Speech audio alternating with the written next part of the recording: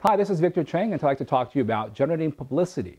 And one of the things you need to understand about generating publicity is you got to understand the mindset and the mentality of reporters.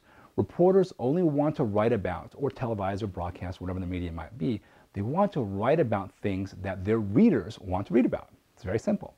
Right? They're not that interested in deliberately promoting your company, your products, or your services, unless in some way that helps them achieve their objective of getting a satisfying their readers. You know, read, uh, reporters are all about readership, all about ratings, and the more you can help them with that, the better. The second thing they're, they're really concerned about, particularly print reporters, is giving up, making sure that they present the appearance of being very balanced and very uh, unbiased.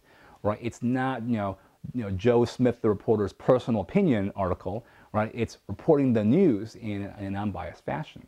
And the big difference between that, by the way, is making sure that an article references third-party experts, right?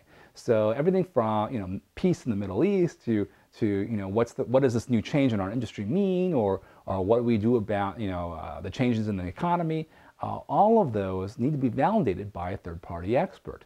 And by and large, if you pick up any major newspaper anywhere in the United States, uh, any major city, you'll notice that all the sort of interesting articles that, that have sort of news that needs to be interpreted, uh, by and large, a lot of them have third-party quotes in them. You know, according to so-and-so who is a professor at Harvard or whatnot, or the author of this and that book, um, uh, and they provide sort of their commentary on the day's news. And this is a very important role that, that reporters must have. They must have third-party sources to sort of validate what's being said in their articles. Otherwise, it's really just an opinion piece that should belong in the opinion section of a newspaper, not in the news section. The same is true for industry publications, right?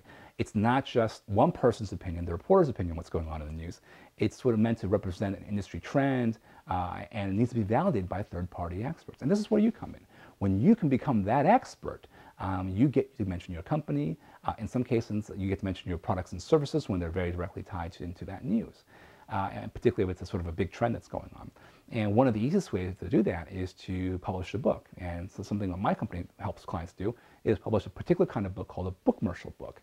And a bookmercial book really is a genuinely useful book that happens to have sort of uh, a commercial message about your products and companies sort of interwoven throughout, much like a television infomercial, if you're familiar with that.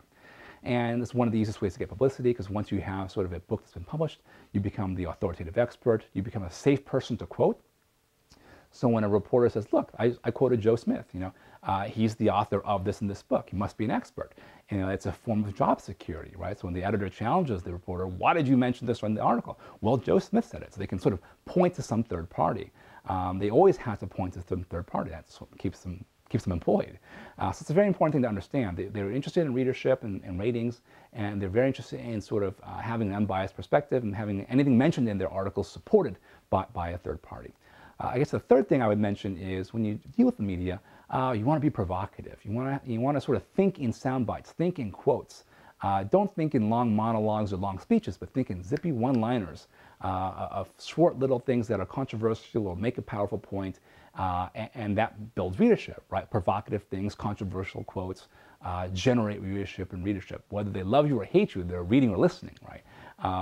there's always sort of this, this funny phrase I always think about uh, when it comes to dealing with the media. Uh, you want to be loved or hated because there's no money in the middle. Right?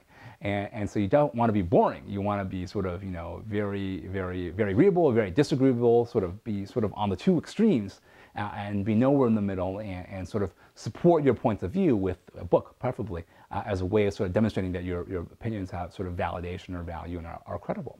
So that's one of my thoughts for today on, on how to generate publicity definitely recommend publishing a book, and in particular a bookmercial book. If you're interested in learning more about bookmercial books, simply visit our website at www.bookmercial.com, and you can see our online videos library at www.bookmercial.com slash videos. Hope you've enjoyed this video, and thanks, and have a great day.